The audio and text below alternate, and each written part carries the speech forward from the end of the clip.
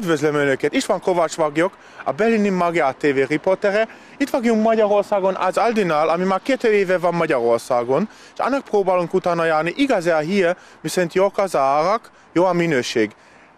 Ezt próbáljuk meg kideríteni.